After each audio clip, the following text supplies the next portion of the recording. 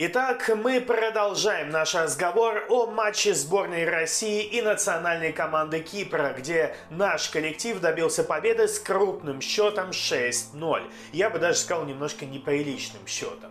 И вот после этого мне, конечно, стало интересно, а что там пишут кипрские фанаты. Перед матчем ведь они там рассчитывали на ничейку, а может даже на победу. Говорили, что мы на выезде хорошо с русскими играем. Но, видимо, вспоминали, как в 2000 2019 году, э, ну, можно сказать, дали нам бой. И мы тогда, в 2019 дома, выиграли у Кипра только со счетом 1-0.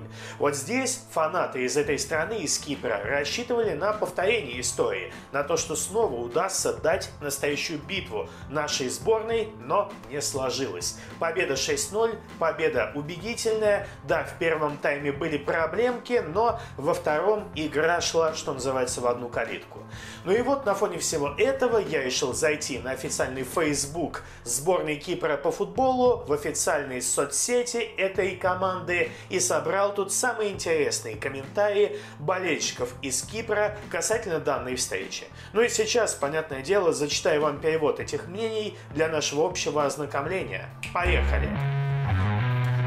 Сперва хотелось бы напомнить вам, что наш спонсор, компания BaldBet, продолжает специальную акцию для подписчиков моего канала. Если вы пройдете по ссылочке в описании и зарегистрируетесь на сайте BaldBet, а также введете промокод 2021 Калуцкий, который также указан в описании к этому ролику, то вы получите бонус – 3 бесплатные ставки. Так что дерзайте, ребят, это ваш шанс заработать деньги, ничем не рискуя. Александрос Георгалис Моррис написал, что произошло во втором тайме? Как можно играть настолько бездарно? Ведь в первом тайме все было нормально. Русские вообще ничего не показывали. А дальше нас просто уничтожили. Будто любители играли против Баварии ну, право сказать, странный комментарий. Все-таки в первом тайме сборная России забила Кипру, поэтому странно говорить, что наша сборная ничего не показала. Да, дальше наши парни как-то расслабились, возможно, экономили силы, но так или иначе, второй тайм расставил все точки над «и». Дефис Марнерос написал «Увы, стоит признать, что это наш уровень. Как только русские включили скорости, они нас просто уничтожили. Очевидно, что в первом тайме они просто экономили силы на Хорватию. Если бы не это, нас бы разгромили еще до перерыва». Но у меня тоже, кстати, было это ощущение, я даже это отметил в своем обзоре матча, который, кстати, вышел полчаса назад, так что можете его посмотреть чуть ниже. На канале есть эта видеозапись. Так вот, мне тоже показалось, что наши как-то начали экономить силы. И Карпин явно был этим недоволен, он кричал от бровки, чтобы активнее наши действовали, но в результате ничего поменять не удалось до перерыва. А, видимо, во время перерыва Карпин уже сказал, сказал пару ласковых нашим футболистам, и те более-менее завелись и показали себя. Евангелиос Силакис написал, как же обидно. Если бы Сатерио забил в конце первого тайма, все сложилось бы по-другому. Мы бы продолжили уверенно обороняться и отстояли бы 1-1. Ну, очевидно, речь идет о том моменте, когда в конце первого тайма Сатирио бил головой с углового и в результате Здесь Сафонов потащил этот удар, спас команду.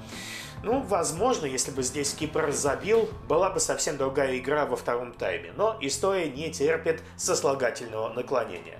Николь Кристомоу написал «Согласен, во втором тайме мы начали открываться и пошли сравнивать счет. Русские воспользовались тем пространством, которое мы открыли в обороне но это в ответ на предыдущий комментарий, дескать, если бы мы сравняли счет в конце первого тайма, вся игра пошла бы по-другому. Возможно, но, повторяю, история сослагательного наклонения не терпит. Милиция Цедоло написала, из четырех матчей с Россией за последние три года этот самый ужасный. Когда мы проиграли 0-5 в 2019, нам просто не повезло. Удаление Лайфиса в первом тайме стало роковым моментом.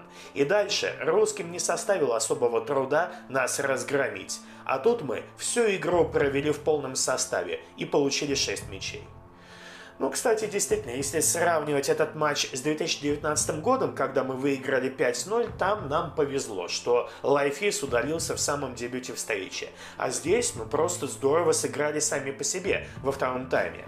Тасос Эльфиноглу написал, во втором тайме против нас вышла не сборная России, а сборная Италии или Испании. Такому сопернику и проиграть не стыдно. Соперник был намного сильнее. На что Майрос Пафусюсис написал, так потому и обидно, что когда русские играли плохо, мы упустили два шикарных момента, чтобы забить. Мы могли выиграть первый тайм 2-1, а если бы мы ввели в счете, то и русские бы так и не разыгрались во втором тайме. Ну, наверное, здесь имеется в виду тот самый удар с Сатерио после углового. Ну и плюс, наверное, эпизод, когда э, один из наших защитников уже в последний момент выбил мяч у Киприота, когда они могли выходить на рандеву с Сафоновым. Тоже в первом тайме был такой напряженный момент. Ну и Леонас Басилерос написал «Какой кошмар! Как можно так здорово отыграть один тайм и так опозориться во втором?» Что случилось с командой? Такое ощущение, будто русские миллиардеры занесли нашим игрокам денег в перерыве. Ну что ж, интересная гипотеза, но, как мне кажется, просто Кипр сам по себе развалился во втором тайме. Ну а что думаете вы? Пишите в комментариях ваше мнение. Ставьте лайк, если видео понравилось. Подписывайтесь на нашу группу ВКонтакте, YouTube канал и следите за обновлениями на нашем втором канале. Он посвящен кино и сериалам. Ссылка в описании. Не забывайте нажимать на колокольчик, чтобы не пропускать мои новые видео. Ну а если вы хотите поддержать наш канал, то можете сделать это финансово. В описании указаны реквизиты Сбербанка, Яндекс кошелька. Если вы поддержите нас финансовым донатом, то мы отдельно поблагодарим вас в ближайших видео. Ну и плюс к этому, если вы хотите помочь нам в продвижении этого видео, то можете оставить комментарий. Только комментарий должен быть больше 5-6 слов. Всем удачи, всем пока!